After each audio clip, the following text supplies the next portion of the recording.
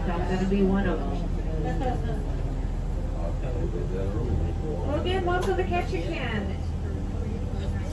Originally, this the city was named Ketchikan, and the Native Americans, also known as the Southeastern Alaskans, they they're brought up of three tribes: the Haida, Tsimshian, and Tlingits.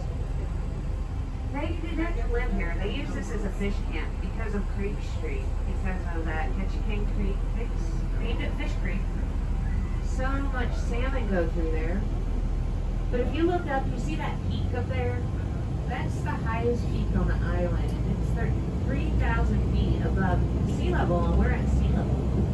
But they would go up there and look down on the island and say it looked like an eagle with its wings spread open.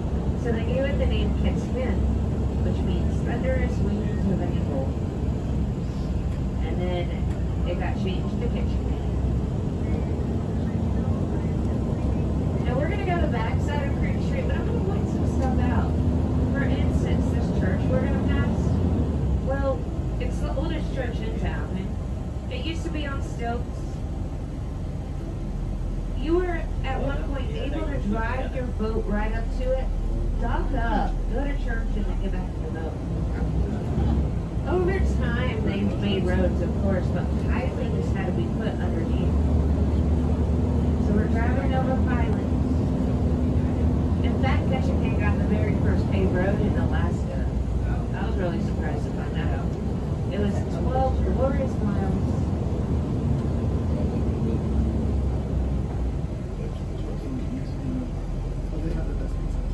Now, as we go forward, you're going to see these houses on hills.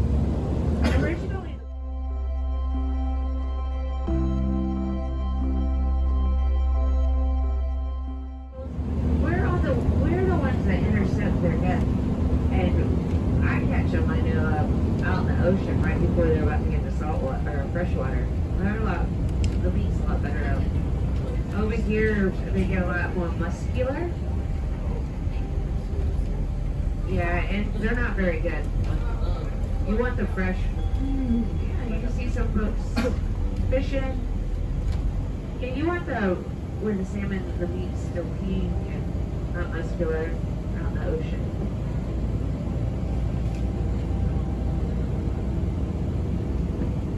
Now, this area would have been called Indian Town. The Westerners pushed up the Indians to their own little town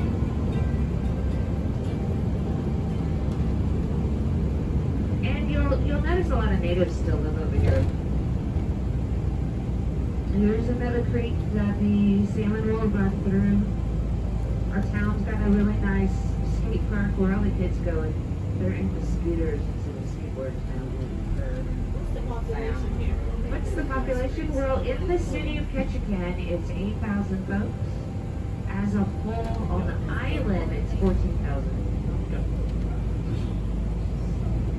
Now look at the ball field. Softball baseball is really important here. The ball field kind of looks a bit different than we're used to. We're on an island, and well, we're on an island. That means no roads connecting anything to get here. This is Revilla Island. Again, 14,000 people that live on the island, and only this side of the island is developed all the other side, and you'll notice that as I drive to the right, it's all forest, and that's part of the Tongass National Forest. That's going to be the largest temperate rainforest in the world. 17 million acres. Did y'all already go to Juneau? Okay, all that forest in Juneau is part of the Tongass National Forest. So it goes all the way up there. Even goes down in the, some of the lower 48, like Washington.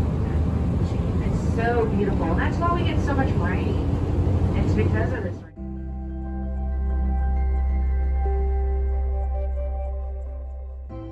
Two totem poles that we see today. So these are replications of about the 1940s. Some of them in 1990 because the other ones are already I want to share this one. This one is of Thunderbird and Whale. That's what it's called. Now, long ago, there was this massive bird called thunderbird. He was so big that his prey was whale, also known as blackfish. He would go down to the ocean, just grab them like nothing. Thunderbird lived on the tallest mountain. These folks, they didn't travel. They weren't traveling Indians. They had their own specific village where they lived. Although in the summer, they would have their hunting and fishing grounds where they would go and get the food they need to save for the winter. This clan house, it would be used for the winter. Everybody in the village would live there. This one would hold about 20 people. Now inside, I, it's all made out of cedar, except for two beams, support beams, and that's